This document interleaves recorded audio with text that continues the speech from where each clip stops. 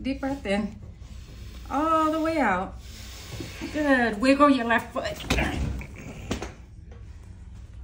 Where do you feel that? In the lower neck. Move your right foot.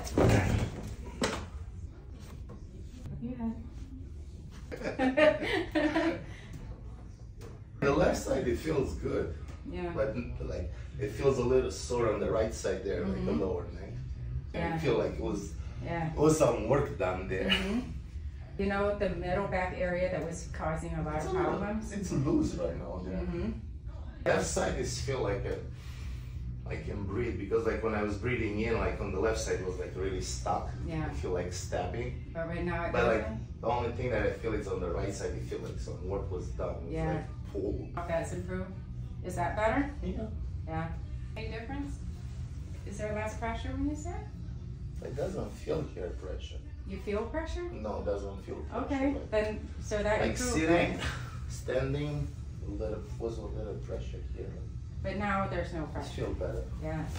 And some of those bones they're trying to fuse together, so I have to really open it up. It's been there for a long time. Yeah. It just bet. takes some work. Yeah. Okay. Thank you for Thank coming you. in. you, And uh, guys. yeah. All I'll right. see you guys soon.